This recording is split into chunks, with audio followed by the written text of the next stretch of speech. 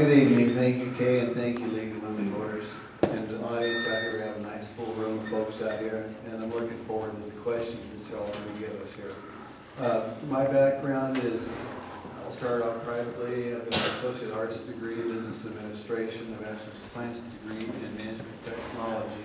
I worked for a major food store, Safeway, for 36 years. 33 of those years I held in the management roles at Safeway where I have developed, trained, and managed hundreds of employees throughout the year, facilitated many different types of meetings, especially what we used to call frontline leadership and all kinds of leadership development styles for those going up the management ranks and wanting to pursue careers at Safeway.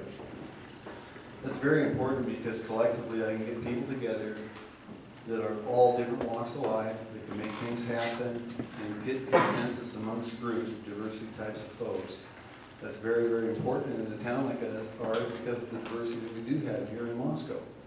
Now, from what my service has been here in Moscow, I was on planning and zoning for four years. I was also on the council for four years, and two of those years I served as council president. Currently, I'm on the Board of Adjustments, and I have chaired that board uh, for the last two years. I've been on it for four years. I ask for your vote on November 5th because I think I can lead the charge and lead the way for what we need here in Moscow. I'm very diverse in what I can do with people, people, getting people together and making things happen. And I look very much forward to working with everybody in the city, not only this city, but the cities that are surrounding us. I want to just thank everybody for coming out tonight. It's a wonderful fall evening tonight, nice to be out, no rain, no snow, so that's nice, and I hope it doesn't change for a while. So thank you, and I ask for your vote on November 5th.